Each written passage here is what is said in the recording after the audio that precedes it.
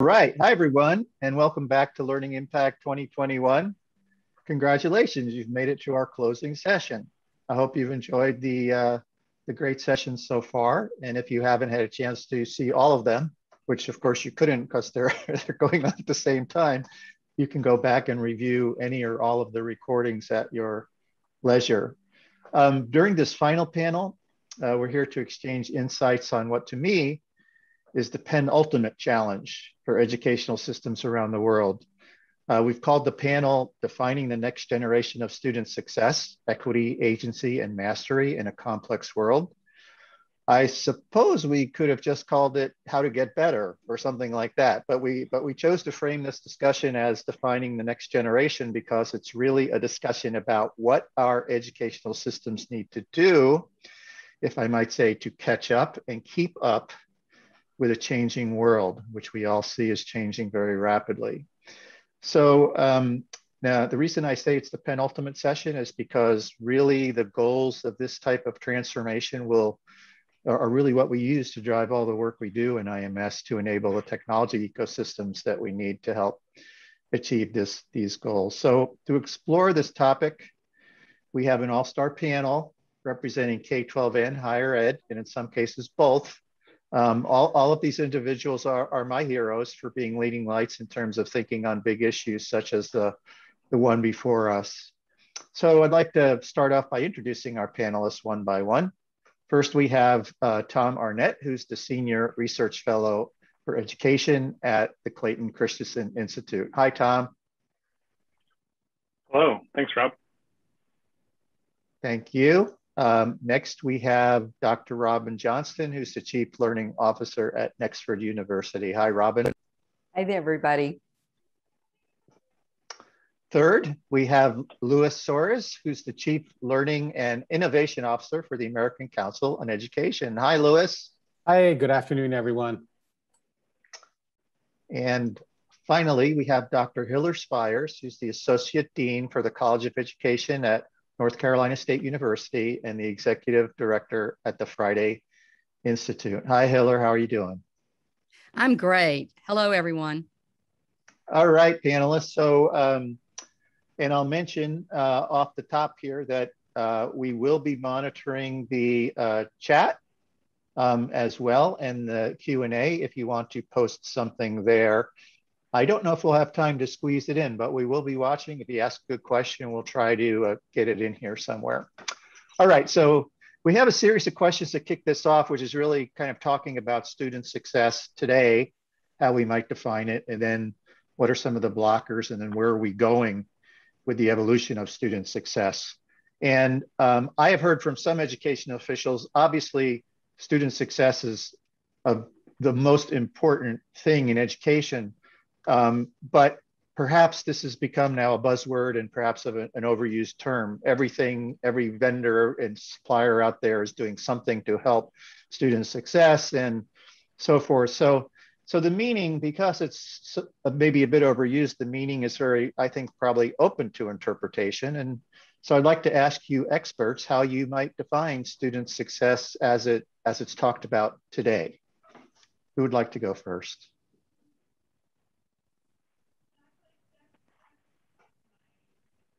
Well, I'll I'm happy start to dive off. in. Okay, Go go ahead, ahead. Go go for it, Louis. Tom? Was it Louis or Tom? Was it a tr- three-way tie? Uh, Okay. Okay, Tom, I'm gonna- three-way tie. I'm going to pick you, Tom. All right. Go for it. Well, so I, I guess I, on that question of how do we define student success, I think it still means a lot of the things that it's meant in the past in terms of, you know, giving students um, access to lots of different learning opportunities in classrooms, um, making sure that students have, you know, adequate preparation in literacy and numeracy and sciences and, and social studies.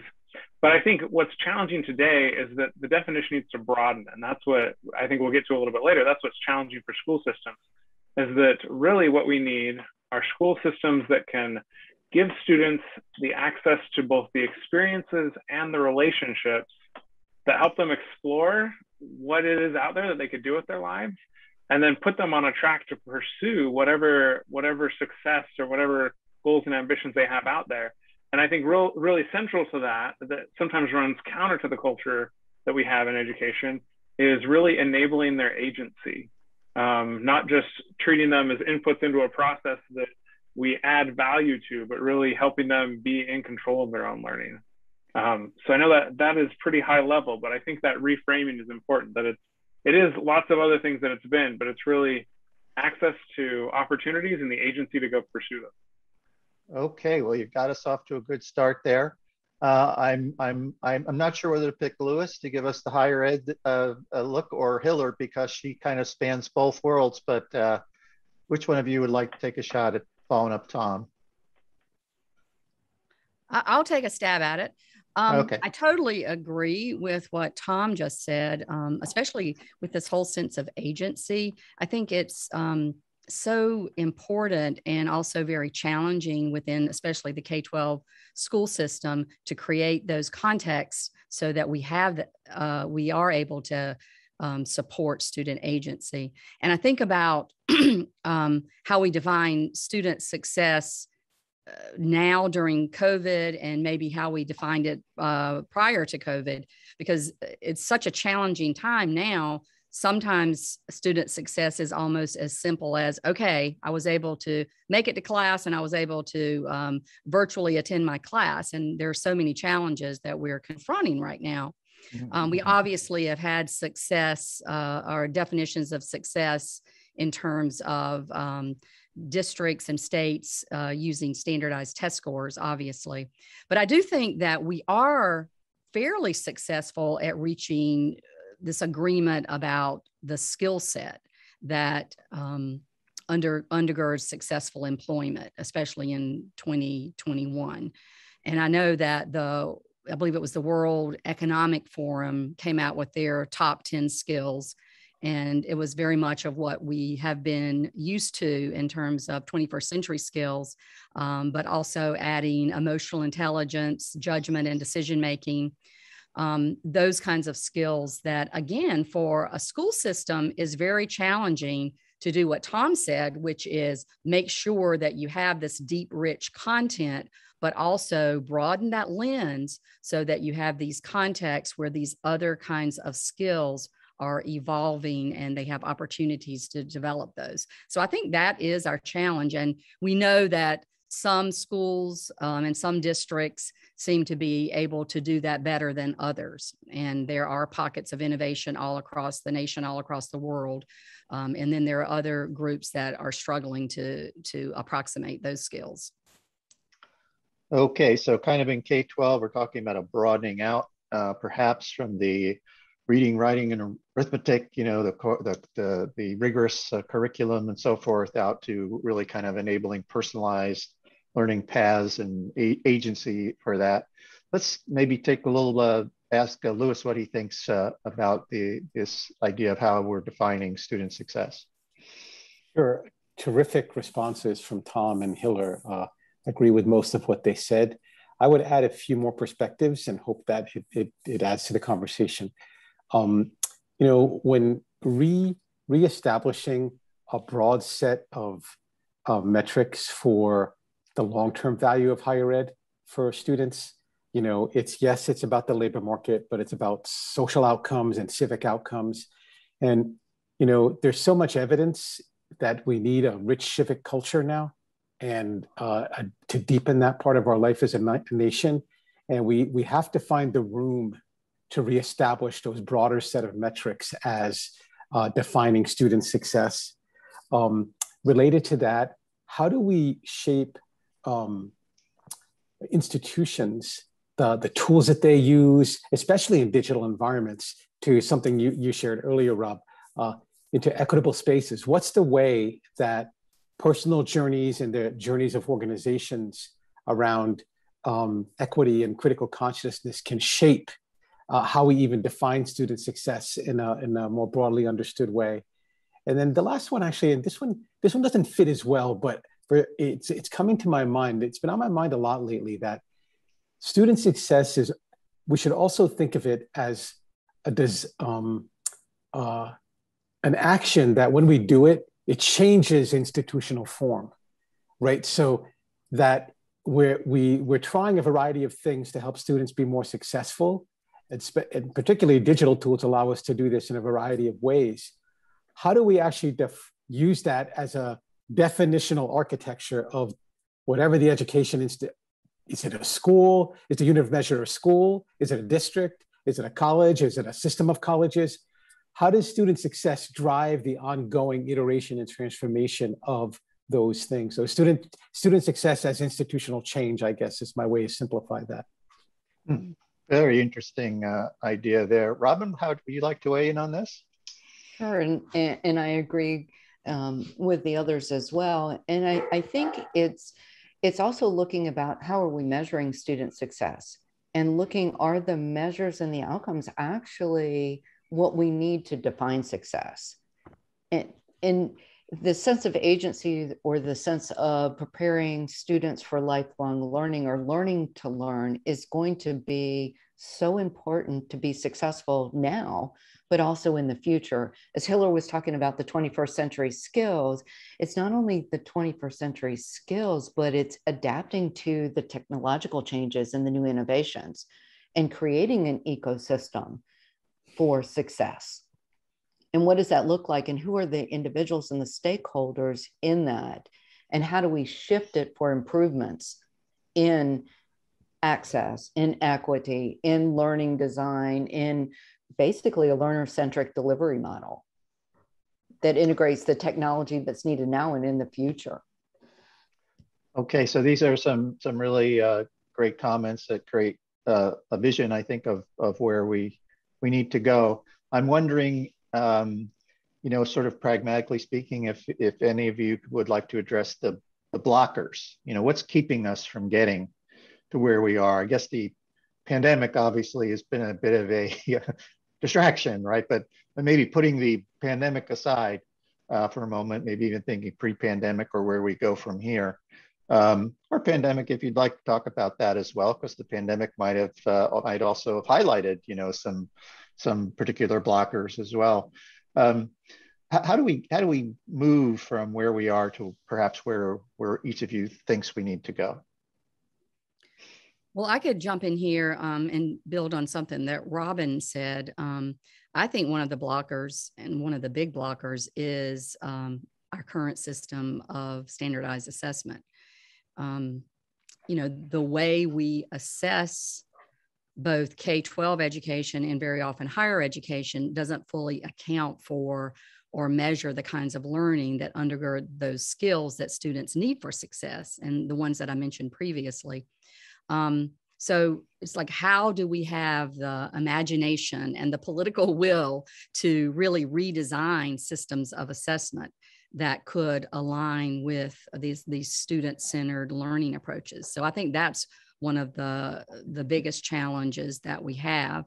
And um, i know especially like for k-12 but it would be for higher ed as well you know we can't uh, continue to ignore the role that uh, racial discrimination plays within the educational system. It's it's so important. And the research has confirmed that students do perform better when they have a teacher who looks like them. And so currently, you know, we have a real disconnect with that in terms, especially with K 12 education. Um, we have such uh, deep demographic shifts where we have more Black and Brown students. But at least with K 12, and I think with also higher ed, you know, it's it's a predominantly white uh, a white uh, uh, teaching profession. Mm-hmm. So how do mm-hmm. we how do we make these shifts so that we have we can deal with that particular block? So that's just two. I could go on, but I'll just throw those two out and see what folks have to say. Those are good. Uh, more blockers from others. Um, I, I, can go and add a, a variant on that. We don't do a really good job of leveraging data in the teaching and learning process, even when we have the technology tools to do it.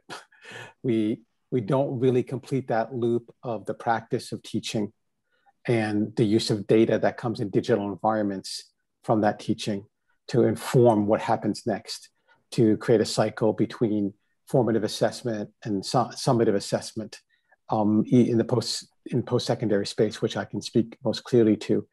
Um, and I think that in higher ed, for sure, that is one of the great, it's a blocker, but one of the great areas of promise in the next couple of decades is data informed pedagogy.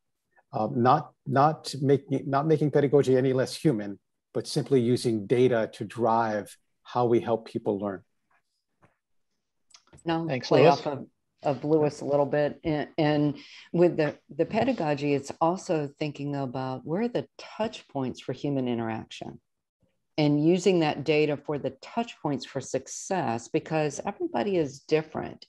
And we've created environments it's, it's about the learning journey and how are we creating that journey and who's involved in that journey and it's not just one person the, the faculty or success advisor or however you're doing it's a collaborative effort and really mm-hmm. looking at those things the other aspect is the digital divide we forget to think about just the lack of technology. We want to use technology, but then what about individuals in rural areas in the US? I work predominantly with an international population and thinking about you know how do you frame the things that you want to do that would be engaging for student success but we can't do it because the digital issues that come about okay thank you tom i'm gonna i'm gonna say something that may be a little bit controversial which is i think often we look at the different parts of the education system that we need to make better whether that be better assessments or better teacher pipelines or better data systems. And all of that is true and all of that is important. Um, but I think sometimes it misses the bigger picture. So let me paint an analogy real quick. I had a, a friend and a colleague once who talked about how he walked into his kitchen one day and he found a pot of water boiling on, on the stove. And, you know, he asked the question like, why is this pot of water boiling here? Well, um, physics gives us some great answers. Well, the water's boiling because there's a heat source and there's liquid, and that liquid is getting heated, and then it's turning from liquid to gas. Um, and so, from that standpoint, you say, well, then you need to remove the heat source if you want the water to stop boiling. But the real cause of why the water is boiling is because his son came in to make macaroni and cheese, put on water to boil, and then walked away and forgot while he was waiting for the water to boil, forgot about the macaroni and cheese he was making. And and so there's really like there's a there's a broader context and a bigger system that our that our particular solutions are are a part of. And i think sometimes we miss that. So when i think of what are the bigger barriers it's not that we need you know better solutions across all these components of our education system i think we actually need to rethink some of the architecture of the education system and rethinking the architecture uh, really isn't just about figuring out how to what do we need to change or what do we need to make different but how do we create the new space or circumstances where that new architecture can evolve?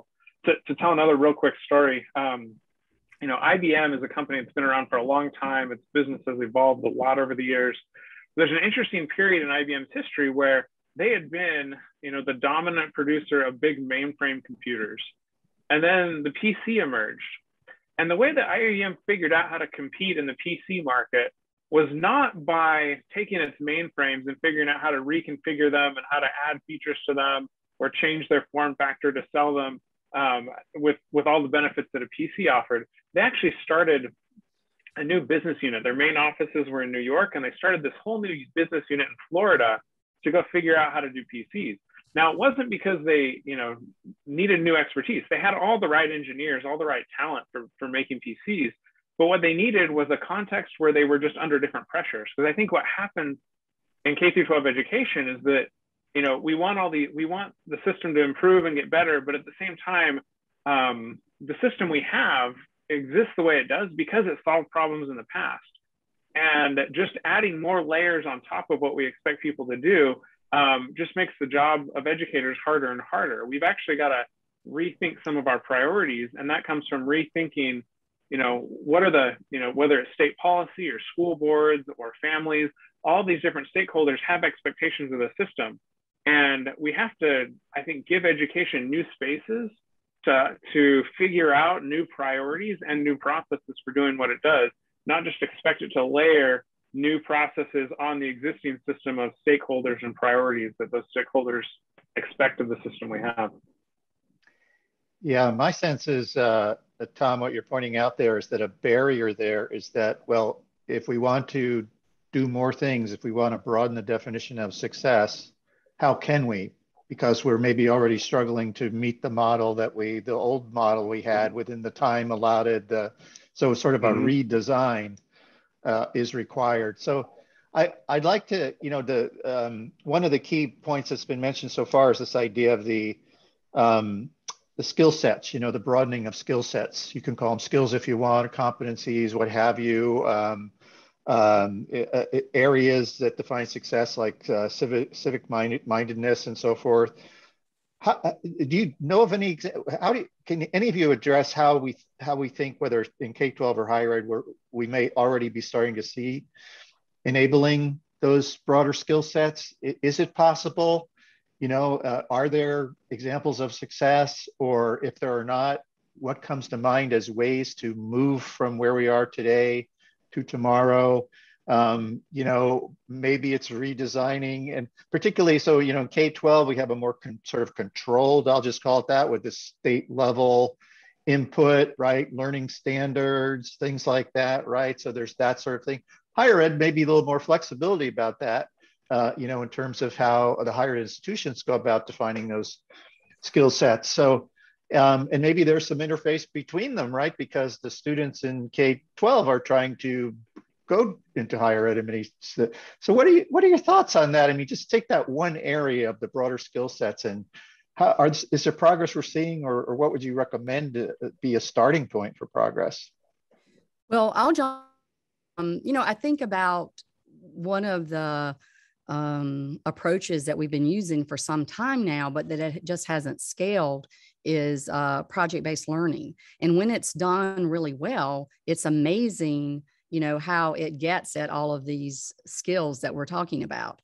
And um, what, what we've seen is that when it is done well, um, and when, you know, a lot of the constraints within, especially K-12, are, are, are challenged because of problem-based learning, you know, you can get an incredible student learning, student-centered learning going on. Um, but what I'm always amazed at is how it's perplexing to me why it doesn't scale. You know, it's like you can you can talk with um, educators and they they have these definitions, they want to do these things, but when it comes down to it, there are so many challenges at the building level and with that it prevents them from doing some of the basic kinds of moves that the, the pedagogical moves that the teachers need to make in order to bring about this kind of learning. So I, am all with you, Tom. I think there needs to be uh, like a major revisioning and and creating new spaces where this innovation can grow and emerge um, and you know, there are pockets of this around. I mean, different um, groups are trying to have these accelerators, these learning accelerators come up and trying to remove the constraints. Um, but I always find it challenging because it's so hard to scale it, you know, because we have of the educational system we have. How do you scale it? And I, I kind of think about it as these series of pockets of innovation and how do you uh, kind of link them all because they're all unique and have um, different kinds of um, uh, activities going on. Um, but somehow we need to link them and get this powerful force for change going on. Is it is it just to follow up on that? Is it is it if really for anyone? But Hiller, if you want to take it, that's fine.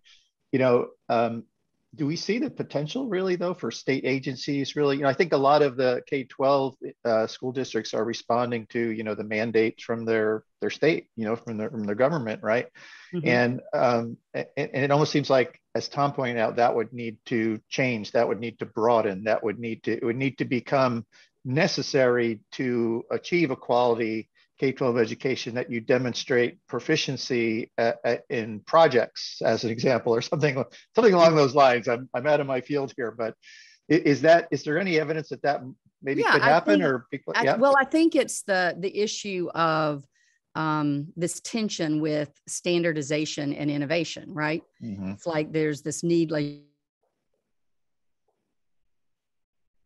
that everyone gets what they need. I mean, that that's really the issue is like we're trying to make things equitable. but then and and sometimes we try to do that through standardization but it actually has a negative effect um, or a backwards effect so i think there is the tension between standardization and innovation and we've been we've been uh, battling that for some time now and i think we will into the future until we're ready to leap a little bit right so, so you know, Louis, and, and, you know, the the invention of the land grant, you know, university, right, came came about because there was a recognition that uh, there there needed to be different types of institutions, you know, in higher ed that could teach more practical skills and so forth, but still be universal. I don't know. Is there something like that model that we that we need? Uh, we need, I think, uh, or or and or both for Robin or Louis. Are you seeing examples in higher ed where this idea of the broader skill set is really starting to take shape in some way, shape, or form. So, just a, a few reflections that I hope are responsive to the question. And if I get excited, you can you can calm me down or mute me. So, um, higher ed ha has been on uh, a long journey to understand that it needs to reblend what we would have considered career preparation education with traditional liberal arts education. And that's a journey that uh, I think we've been on for a while. Uh, not before the land grants, but certainly at some point between then and now in the Morrill Act. So, and it's an ongoing journey. Examples of places that I can point to where it's happening in higher ed that, uh, and I'll use examples that are very, very practical because I think that um, um, we're seeing a growing number of our, of our liberal arts college members. We're seeing that they're getting really sophisticated about, um, you know, okay, where are many of my graduates going when they leave me? But you know, what are the metro areas they're going to? What are the skill sets that are in demand in those in those areas? And they're actually working with um, labor market data companies to help them really target. Like uh, data analytics is important, so I'm going to create a data analytics module for my history majors so that way, when they go to Chicago and data analytics is an in demand skill set, so they're complementing that practical labor market skill set. And we're seeing that it's a growing trend among liberal arts colleges. Another piece of the puzzle is the, the growing importance of experiential learning. Uh, we can, you can use a variety of indicators of this. The one that we mostly use is internships. Now that we typically have the dialogue about that in terms of that employers want to kind of like kick the tires on the candidate before they hire them. But another component of it is the speed cycle of learning is happening so quickly that the student, the experiential learning gives the student a way to um, take what they've been learning in the classroom setting, apply it, and and um, speed up that cycle time of learning. And then right. finally, and this remains uncharted territory, is the emergent space for learner driven credential profiles, wallets, digital environments. You guys do this work. We're right now throwing a lot of competencies into those, into those wallets, right? That come from many, many different places. And how they, the, the learning science is clear that s- similar categories of knowledge don't necessarily cross context, right? Right. And so mm-hmm. we're throwing all that stuff in there. And I suspect looking at you know, there's going to be a rich data set created that helps us understand how students blend learning across different areas of their life where they have to apply it. So hope that was helpful. Yeah, well, definitely was. Robin or Tom, would you like to make any comment on the site uh, how I'll add examples? some in this. Yeah. So in higher ed, there's a movement, if you will, going called the Open Skills Network that started out of WGU and others that have been doing it and and other institutions um, have been skills focused. Higher ed has had this friction going on for quite a while between the workplace and higher ed, the employers in higher ed and employability. Are we actually teaching what needs, what skills are needed, not only for from the liberal arts perspective, but for employability perspective. And there's not been a common language. Similar to mm-hmm. what Hiller is saying, it's hard to standardize when there's not a common language. So Open Skills Network is actually a conglomerate similar to CBEN and others who is trying to help with this common language between the workplace, the employers, and higher ed, because competencies have been tried, but skills are actually going to be the identifier. And to speak to Louis, sorry, my dog is barking now. Um, he likes it. He like he, he likes, likes it. He's saying. so excited yeah. about the skills. Like you know, I'm teaching yeah. him new skills.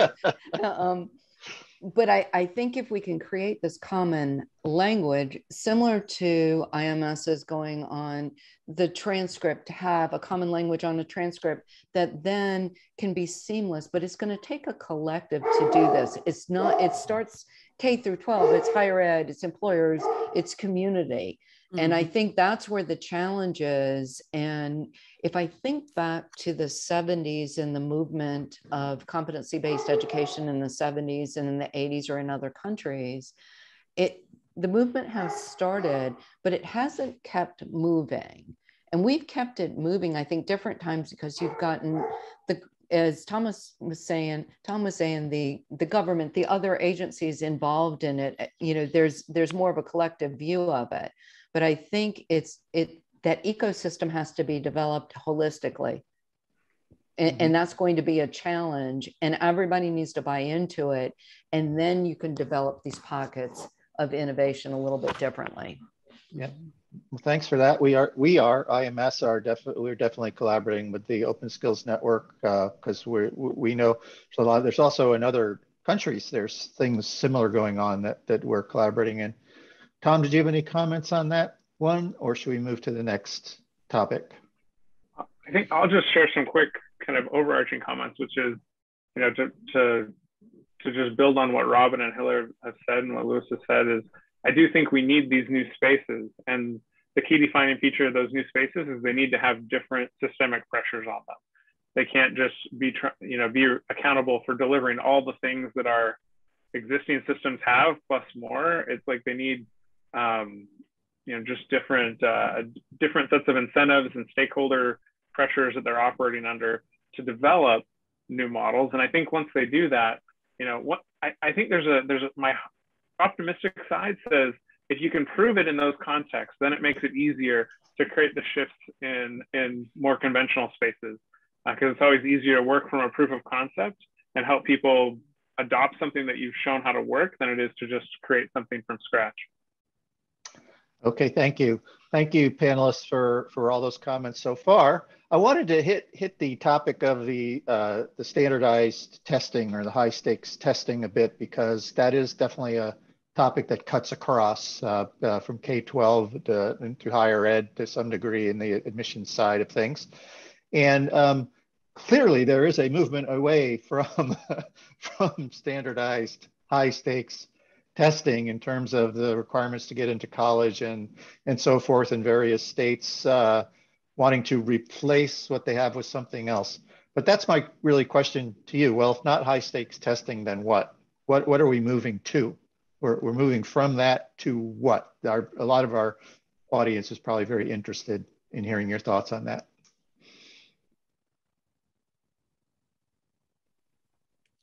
This may be, go ahead, Hiller. Go ahead. Oh, you you go for it first, and then I'll yeah. jump in. You know, I, I often um, first just a um, little practical experience, uh, or what passes for practical experience for someone from someone who writes papers for a living. You know, um, um, you know, when in in higher ed, and I, I believe there's a parallel in um, in K twelve, but I, I'm not sure if it's exact. You know, when we started leaning into competency based education you know, we we almost use that phrase as, you know, it's a cure-all. We just say competence-based education and everything is going to get fixed. Right. And one of the the there's no evidence that the learning science, the way we do testing, the, it isn't quite there where we we can implement this perfect assessment system. And you know, um, uh, a colleague once said in a in a meeting where we were discussing uh, the future of competency-based ed, you know, are we just going to create the competency-based version of the credit system we created with, with Carnegie units, right?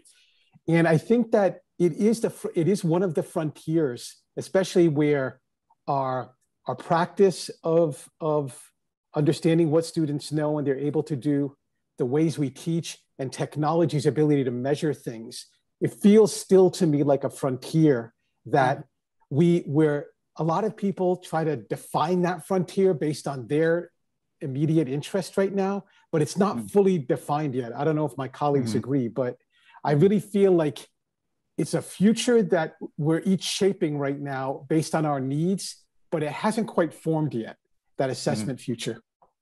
Yeah, I, I agree with you. Um, and I think about the example of uh, micro credentials, which I am very supportive of, and the Friday Institute um, has been a leader in that area. Um, but at the same time, when we're trying to do micro credentials, I think one of the reasons it hasn't taken off and scaled the way we thought it was going to scale is again, we have different uh, groups um, defining my credentials in different ways, and there's a lot of idios, idiosyncratic approaches. So then here we are not doing the standardization thing, which while ago I said, you know, there's this tension between the innovation and the standardization. So on the one hand, it's almost like you can't do standardization um, if you want to do the innovation, or at least it seems that way. But then as soon as we try to do the standardization, say with the micro credentials, then it's almost like we lose something. So I think that's kind of this um, uh, this sort of uh, I don't even know what the right word is, but this uh, track that we're in right now, and we need we need to fi- figure out what the breakthrough is on that, so that we can just come up with some new systems, so that we're not we don't have these old constraints that we keep pulling up as we try to do these new models. And I feel like that's really what's happening a lot of times. Mm-hmm. And who, who's but who would drive the the idea of of standardizing, uh, say, in an area like micro credentials, right? So much potential, right? Because it has the mm-hmm. ability to break down what somebody knows or learned, or even what their achievements were, their experiences are, and represent them. I think that's a, it's a, it's one of the questions we we we sort of have to kind of grapple with with which is mm-hmm. where is the drive for change coming from, right? And I, would just be interested to hear the panel's thoughts on on that um, because all these ideas are awesome ideas and we're they're going to happen, right? But they're probably going to happen in order where there's more motivation for them to happen in some way, shape, or form, even if it is for some sort of shorter term, um, you know, reason um, yeah, kind of theory of change kind of stuff. Anybody thoughts? Is this consumer, for instance, is this going to be consumer driven? Is this going to be driven by employers? Is this going to be driven by, um, uh, you, you, know, the uh, leading associations in higher education, for example, or who who's to, where is this drive, or state governments, or, you know, where is this drive going to change, to gonna come from? I think we all hope it would all come from all of those places, but where is it coming from now? I think some of it, a lot of it's coming from the employer, eh, eh, you know, the melding of the two together. You know, mm-hmm. focusing on one single language will drive some of this innovation forward. And I think understanding each other the key to understanding is really understanding what we're trying to either measure or analyze or use the data from from that if you think about the reskilling movement now and, and i think about we've got five generations in the workplace that's a big driver of this because reskilling with micro credentials, someone has a degree, they've been working and they've been effective, but they need specific things, the data analytics, they may need computer skills, they need something else. Where a micro credential is a short term achievement, but it also gets the results that's needed immediately. So it's a win win for both. Mm-hmm. And I think mm-hmm. that's part of the driver. Um, mm-hmm. Some of it is also driving is looking at building a growth mindset and lifelong learning. And businesses and, and higher ed have realized that you don't stop at just a degree. And this is an avenue for people to keep lifelong learning till, till the end of life and it and it's something it's a retention initiative it's a persistence initiative it's a short-term achievement and it, it it's a skill imperative in many ways mm-hmm. and do you think do you think robin or, or Louis do you think that the higher education institutions might start looking also for these skills type of uh, these broader skills from the graduates of the school districts as they come into higher education, perhaps, or is that is that a is that a just a wild idea that could never happen, or because in theory, right? There's this in theory there's a theory of change that says as higher education starts to um, uh, appreciate broader set of skills that the uh, the, the K-12 school districts will respond and the state leadership will respond. Any thoughts on that? So uh, a couple observations. One is, you know, the the last year and kind of like the um, the steps away from uh, the SAT and the ACT. Those that's in some ways the market making immediate choices about that. Whether mm-hmm. there's uh, another way of understanding um, students in the long term is has has it has to do with values, uh, the the the cost of understanding students in other ways, and all those things. Uh, I would suggest that the driver there is going to be uh, look look to places in the South where the demographics have already turned, and how they're handling that or not, mm-hmm. because that's the driver, right? Um, in higher ed, more broadly, the experience that I think is is interesting. Some of it's because it's uh, you know I, this another area of my research on adult students, but also um, it's a place where colleges have different ways of understanding students. So um, in the area where you, you, know you're an institution that largely serves uh, older students or a continuing ed shop of an existing university, credit for prior learning has been a tool for identifying and onboarding different kinds of students for a long time. It's not scaled. There, we need better research on it. Um, and that both the research is growing and also the use of it is growing. Some of that is driven by the market, right? You're, it's, you're competing with more and more students that, uh, uh, more and more colleges that are trying to, to access those students. But part of it is driven by a growing understanding that, hey, you know, if this person has this um, skills profile coming from that work environment, I actually can map it to some of my internal credits, and they're likely to persist at a higher level. The most recent research suggests that. And so, and I only use that as an example of a place where higher ed does use different ways of understanding the students that are coming to them. That's, that's a one narrow segment of the market. But on that bridge and K I, I'm, I'm not going to be the expert on K-12, but I, I think looking into places where we've had those democratic shifts already and where they are trying different demographic shifts already and where they are trying different stuff is where you're going to see the appetite of districts for making that kind of change. Mm-hmm.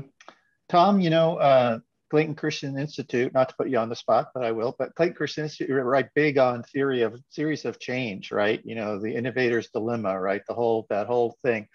I'm just wondering what you, and you're on mute now, but I'm just wondering what you might be thinking about all of this. You know, what's the theory of change on how we make these gears, you know, move? Do you, do you have any? Have you any thoughts on that? Yeah, well, listening to the comments from the other panelists, my head's been racing trying to trying to think through some of these problems. Um, let me start here.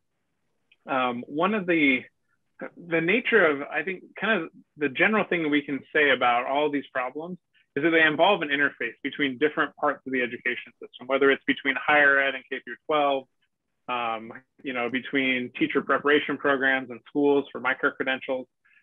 Um, and, and so in that, those are, with those interfaces, um, Clayton Christensen developed a framework for making sense of when will those types of interfaces work. And he, he identified three conditions you have to have specifiability. You have to be able to say like how what's the exchange we're making here? How do I make sure that I make my piece right so that when I hand it off to you, it fits right into where you're where you expect it to plug in. Um, you have to so you have to write specifications or standardize things like Hiller was describing.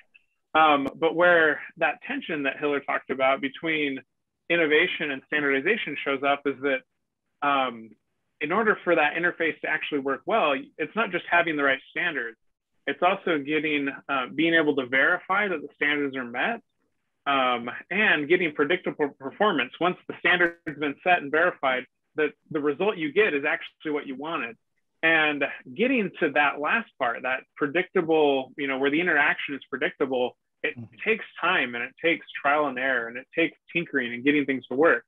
Um, in education, I think we're really good at setting the standards on the front end, but just because we write the standards doesn't mean that it gets to you know that predictable that predictability that we need in order for the standards to really work well. But when we lock in on a standard it, it constrains our ability to keep tinkering to get to that predictability. So mm-hmm. so how do we get there? I think um, one is sometimes it requires trading across those pieces.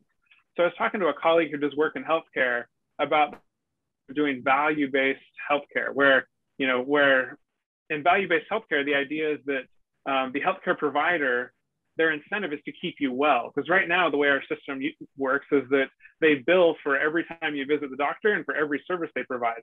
So they make more money the more often they see you and the more procedures they do, um, not based on that they, they actually keep you well.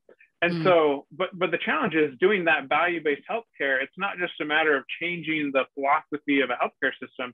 You actually need to align the incentives, which usually means you need something like a UPMC in Pittsburgh or a Kaiser here in California that is both the, the insurance provider and the healthcare provider, where the incentives line up to actually do both. And I think when you when you bridge like that across an interface, it gives the organization more of the ability to tinker with those standards um, internally until they can get them right. And once they figure out how to do them well, then you can kind of break that interface apart again and have lots of different providers that all use that interface. But figuring out how to get it well usually requires that kind of integration. So I, am not sure what exactly that looks like in, in education, but I imagine it could be something like, you know, teacher prep programs that also run K through 12 schools, where they're ensuring that the teachers they're training actually can operate effectively in the schools they're running.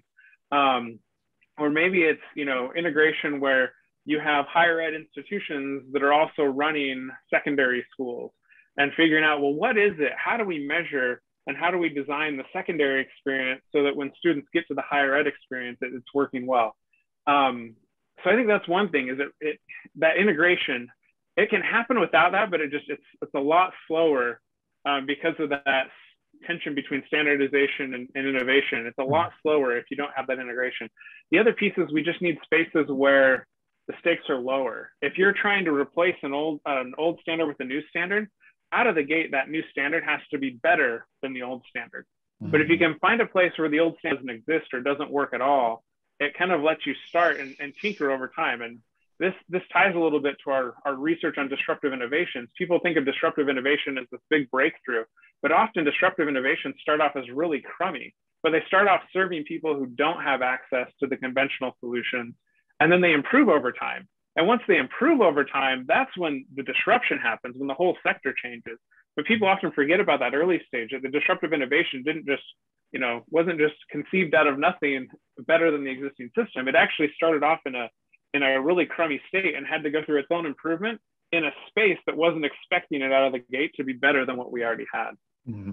Well, thank you, Tom. I, I, uh, we're going to have to end there. We actually went a few minutes over, but it was worth it. Sorry uh, about to, that. No, no, it was worth it. To. To, it was worth it to catch that framework there at the end. I knew you could be probably the best one to come up with something like that. So Hey, thank you, panel. This was a, an awesome discussion, and, and I'd love to have it again sometime and and uh, and continue it.